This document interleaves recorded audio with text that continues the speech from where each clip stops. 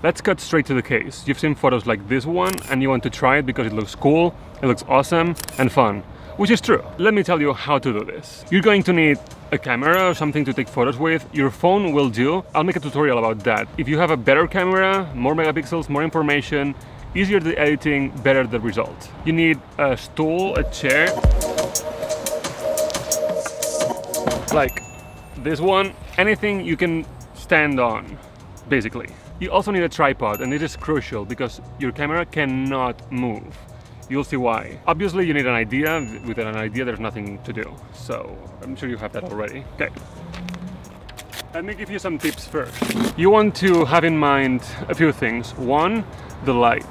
The shadows that you create, you're gonna have to work with them. So make sure there's no shadows of the thing on you. The thing meaning the thing that you use to stand on. See, if I put it like this, this will create some shadows on me if I stand on this. So I'm going to move it like that. Your clothes. It's better if you can hide somehow the point of contact with you and the thing you're standing on. Less work in editing. I'm thinking of using the other direction. Just I don't like these buildings behind me. Somewhat like this. It is very, very important that you take one photo at least without the chair or anything in the photo.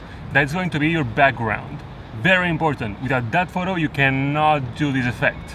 Again, take a photo without anything. No chair, not you, nothing. Empty photo with the background, that's it. I'm going to try and take a photo vertically. That's why Okay, now we took the photos, let's head to Photoshop and edit this thing.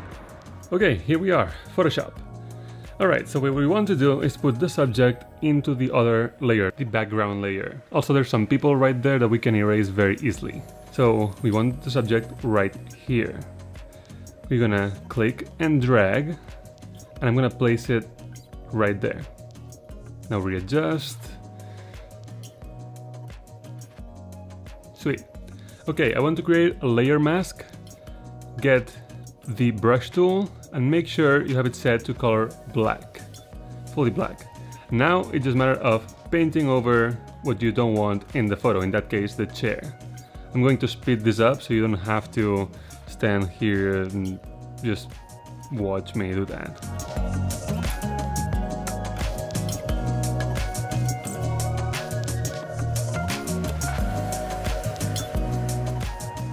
Okay, so that is done for the chair. Now there are some sections that need a little bit of readjustment, so create a smart object.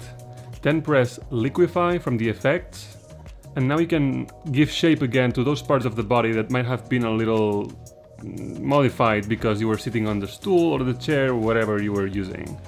Once it is done, press OK, and that's it. Now you can send it to Lightroom, you can edit it as you want, you can put the effects, modify it, do however you feel like, and the photo will be done.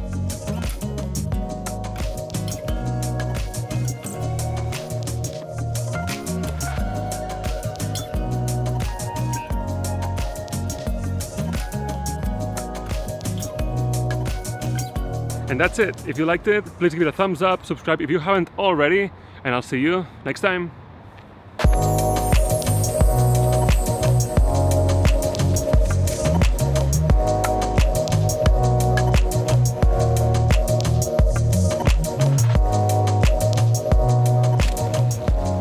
always like to disappear in the camera like that, it's always fun.